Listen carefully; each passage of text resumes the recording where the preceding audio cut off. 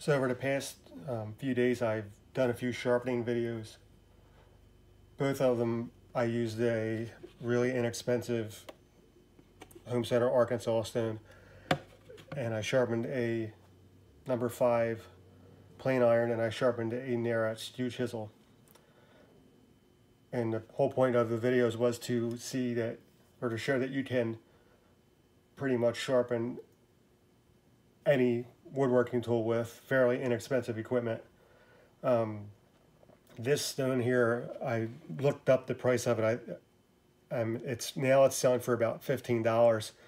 I don't even think I paid that much for it when I bought it, but um, and the leather strap I use, I made that from some craft leather that leather that my uh, wife picked up for me at, at a um, store like Michael's or something like that. Um, but normally I sharpen with water stones, and, and I have here my an 800 grit and an 8000 grit, both from King. Uh, combined price for both these stones is right around $100. Um, I've been using them for quite a few years. I like them. And I'm going to see, I just I want to do a quick experiment because I'm sharpening today the other skew chisel. The, here is the one I sharpened, um, I just it was Thursday. This one before I sharpened this one, the, these two were in almost identical shape in terms of their level of sharpness. Um, like any woodworker, I don't. Have, I'm not going to tell you that all my my tools are razor sharp, but they're none of them are dull because I do use them. If I were a professional, I'd probably be sharpening my tools every day, maybe even twice a day. But I I only do this. I'm a weekend warrior for the most part. So um, I usually only sharpen my chisels when I need, when I'm about to use them. But that being said, I do, none of my chisels are what I would consider dull. They're just not at an optimal, optimal level of sharpness all the time. But um, this this chisel has been prepped already. It, you're very unlikely you're going to be able to see this, but the back is flat. I've had these chisels for quite a few years. So I just want to see how long it takes me to raise a burr and get this sharp in comparison to the Smith stone that is sitting on my bench here. So once again, lift, index, lift slightly, start moving. I said before, I generally like to sharpen with one hand. I don't have gigantic hands, but they're not small, so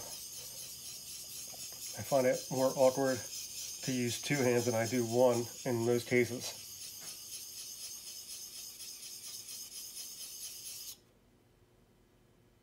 And there's the burr already.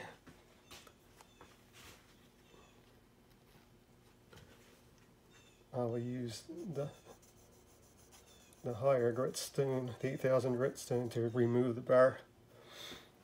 Once again, register, lift.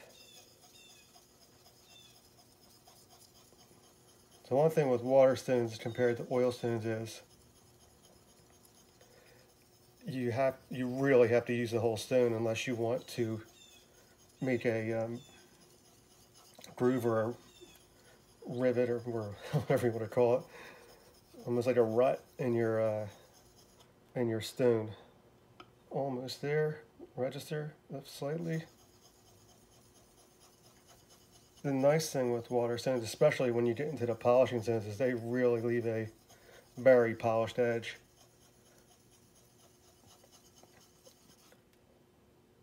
Almost. As I said, I have, for some odd reason, I'm decent at putting an edge on a pocket knife, which is not easy. A lot of people will tell you it is. I don't find it easy. For some odd reason, I can never do it with a water stone. I, I would, I would have dull spots on the knife. And that's the main reason I purchased that oil stone that I used in the other two videos. And there is the burr. So now I'm going to get the strap.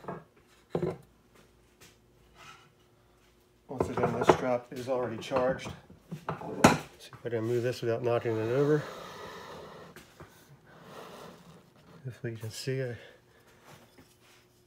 my workbench isn't set up for filming. That's already very sharp. Lift. As I said, I usually do, I know, maybe 30, 30 strokes.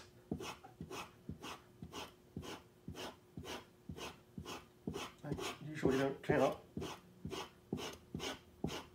Let's see what I have.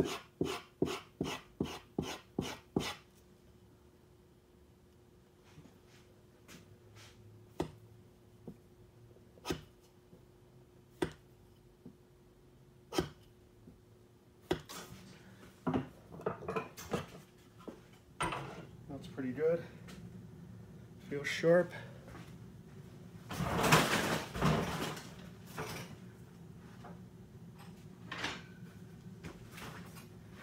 a piece of oak here. Sorry, my garage is filled with things that shouldn't be in here. Let's see what I do. Now it is it is easier to clean and drain with a skew chisel, so this might not be fair. But you can see this is really just slicing through this like it's not even there.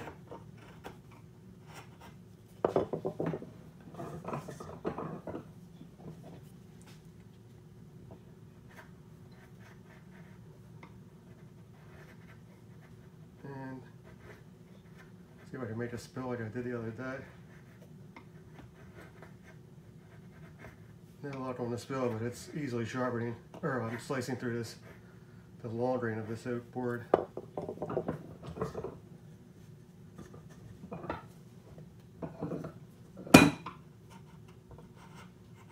Slicing through the end grain, as I said, it's making very fine shavings.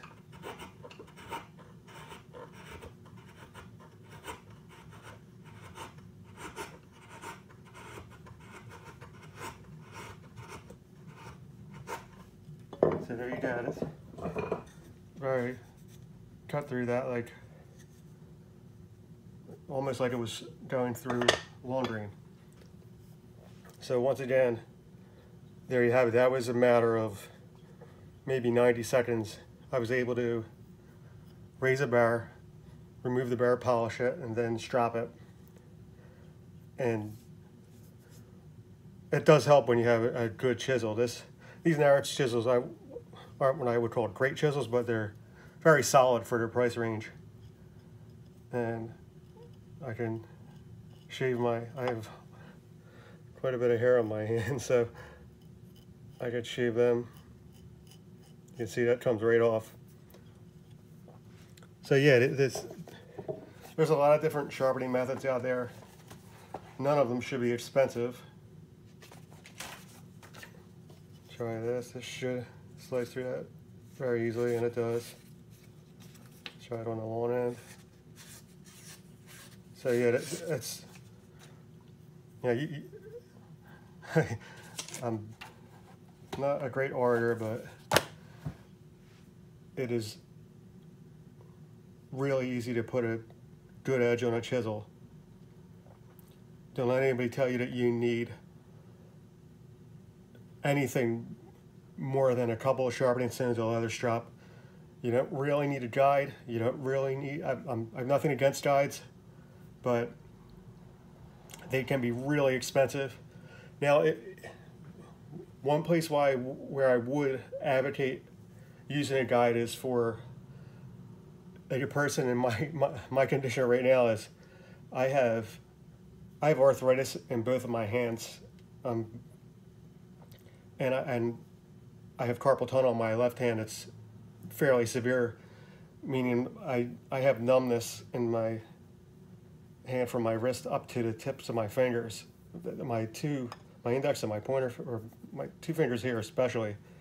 Um, I've had it looked at by a hand specialist a few years back. There's really not a whole lot you can do about it, except eliminating repetitive motion type of um, tasks, typing. Um, played guitar for a long time. I've worked with my hands for my entire life.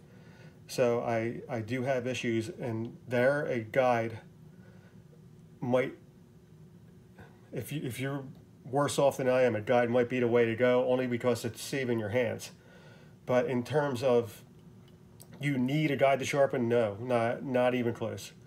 You, you saw this video here, as I said, this took a matter of two minutes to get an edge on a chisel with two very inexpensive stones. I've seen these stones run three, four, five hundred dollars each, and people, I mean, really pushing woodworkers to buy them, and that's just nonsense. You, you anything like that. If you have good tool steel, you can sharpen good tool steel with minimal equipment, minimal effort, and a little bit of practice. So I hope this helped and have a great day. Thanks.